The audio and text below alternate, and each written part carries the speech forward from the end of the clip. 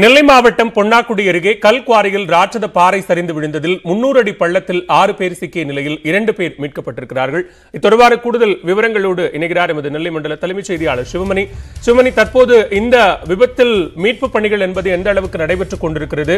விவரங்களை பதிவு செய்யலாம். நிச்சயமாக திருநெல்வேலி மாவட்டம் பொன்னாக்குடி அருகே இருக்கக்கூடிய அடைமிதிப்பான்குளம் அந்த பகுதியில் இந்த குவாரி கல் குவாரி இயங்கி வருகிறது. சங்கரன் அப்படிங்கிறவருக்கு சொந்தமான இந்த குவாரியில் விதிமுறைகளுக்கு மீறாக முந்நூறு அடி ஆழத்திற்கு தற்போது நம்மளோட ஒளிப்பதிவார் காட்டக்கூடிய காட்சிகளை நம்ம நேரில் பார்க்க முடியும்.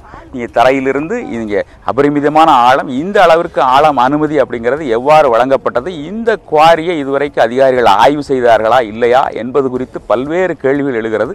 இந்த சூழலில் நேற்று இரவு இந்த பகுதியில் அந்த பகுதியில் இருக்கக்கூடிய அதான் அதே பகுதியில் அந்த கல்குவாரிக்கு அருகிலேயே எம்சாண்ட் தயாரிக்கும் ஆலையும் அந்த நிறுவனம் நடத்தி வருகிறது. இதற்காக இந்த கல் கற்க குண்டு கற்களை அங்கிருந்து ஏற்றுவதற்காக ஏற்றுவதற்காக அதாவது வெடிவைத்து ஒவ்வொரு நாளும் மாலை ஆறு மணி வாக்கில் குண்டுக்கல்லை தகர்க்கிறதுக்கு வெடி வைக்கப்படும். அதனைத் தொடர்ந்து அவர்கள் அந்த இரவிலே அங்கிருந்து கற்களை இங்கே எடுத்து வெளியே வருவதற்காக மூன்று ஹிட்டாச்சி இயந்திரங்கள் அதோடு இரண்டு லாரிகள் அதை அதை கொண்டு ஆறு தொழிலாளர்கள் இந்த பகுதி நாங்குநேரி பகுதி அதை சுற்றுவட்ட திருநெல்வேலி சுற்றுவட்டார பகுதியைச் சேர்ந்த ஆறு தொழிலாளர்கள் இந்த பணியில் ஈடுபட்டு இருந்திருக்கிறாங்க அப்போது ந- இரவு பதினோரு மணி வாக்கில் இந்த பகுதியில் இருக்கக்கூடிய பாறைகள் மண் பாறை சரிந்து உள்ளே விழுந்து ஆறு பேரும் இடிபாடுகளில் சிக்கிய நிலையில் தற்போது இரண்டு இரண்டு நபர்கள் பத்திரமாக மீட்கப்பட்டிருக்கிறார்கள். அவர்களும் கயிறு கட்டி மேலே கொண்டு வரக்கூடிய காட்சிகளை நம்ம நேரலையில் பார்க்க முடியும்.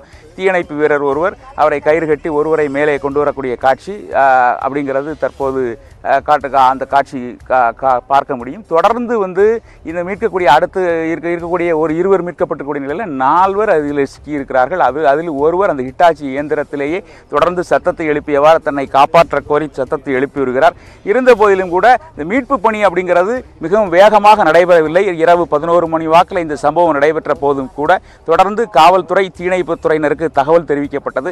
தரைக்கு மேலே இருக்கக்கூடிய அதை தீ தீப்பிடித்து அந்த போன்ற சம்பவங்கள் நேரும் போது இதற்கு வேகமாக செயல்படக்கூடிய தமிழக துறையினர் வந்து இதற்கு தரைக்கு கீழே அதாவது ஆழ்துளை கிணறில் மாட்டிக்கொண்டாலும் சரி இது போன்ற சூழல் ஏற்பட்டாலும் அதில் வேகமாக செயல்படுவதற்கான கருவிகள் போதுமானதாக இல்லை.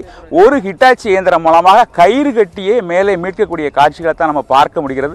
இது போன்ற சூழல்ல நேற்று இரவு வந்து தொடர்ந்து இரண்டு மணி முதல் தொடர்ந்து சாரல் மழைங்கிறது தொடர்ந்து பெய்து வந்த காரணத்தினால மீட்பு பணியில் தொய்வு ஏற்பட்டது. இரவில் வெளிச்சம் இல்லாத காரணத்தினால் மின் விளக்குகள் இல்லாத காரண பகுதியில் மின்சாரம் இல்லாத சூழல்ல அவர்களால் மீட்க முடியாத நிலை இருந்து வந்தது. தற்போது இந்த மீட்பு பணிங்கிறது நடைபெற்று வருகிறது. இதற்கான பணி இருவர் மீட்கப்பட்ட நிலையில் மேலும் நான்கு பேர் மீட்பதற்கான மீட்பதற்கான நடவடிக்கைகள் தொடர்ந்து நடைபெறும் அப்படிங்கிறது தெரிய வருகிறது. சம்பவ இடத்துல திருநெல்வேலி மாவட்ட காவல்துறை கண்காணிப்பாளர் இருக்கிறார். அவர் இந்த மீட்பு பணிகளை பார்வையிட்டு வருகிறார். இருந்த போதிலும் கூட தேவையான அளவு மீட்பு பணிகளுடைய வேகம் போதுமானதாக இல்லை அப்படிங்கிறது இந்த பகுதி மக்களுடைய குற்றச்சாட்டாக இருக்கிறது. தொடர்ந்து பல மணி நேரம் உயிருக்கு போராடி சத்தம் எழுப்பி வரும் நபர் அவர் அவர் அதோடு மட்டுமல்லாமல் இரண்டு லாரிகள் முழுமையாக கல்லால் மூடப்பட்டிருக்கிறது. அதில் உள்ளே இருப்பவர்களுடைய நிலைமை என்ன என்பது குறித்து விரிவான தகவல்கள் எதுவும் தெரியவில்லை. இது போன்ற மீட்பு பணிகள்ங்கிறது தற்போது நடைபெற்று வருகிறது பாலா. நன்றி சிவமணி. விரிவான தகவல்களை பதிவு செய்தமைக்கு.